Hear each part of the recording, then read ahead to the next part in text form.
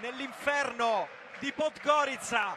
Abbiamo portato la luce, abbiamo tracciato la nostra via, abbiamo scritto un futuro nuovo, un futuro tinto d'azzurro, siamo partiti dalle retrovie dal primo turno, siamo risaliti dai sotterranei dell'anonimato, abbiamo masticato amaro, abbiamo versato le lacrime di chi soffre, ma che sa in cuor suo che il sogno presto o tardi diventerà realtà e oggi ci prepariamo a piangere ancora, ma stasera piangiamo di felicità, piangiamo di gioia.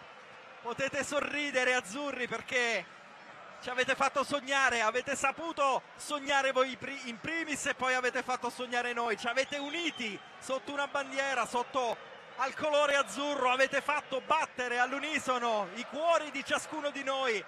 Stasera la pallamano europea guarda, guarda ancora Podgorica, ma stasera non guardano gli altri, stasera guardano tutti noi, stasera guardano l'Italia, perché adesso ci siamo davvero, 34-32, il sogno è diventato realtà, dopo 27 anni l'Italia della pallamano è qualificata alla fase finale dei campionati mondiali. Andiamo ai campionati del mondo 2025. Incredibile, incredibile, incredibile.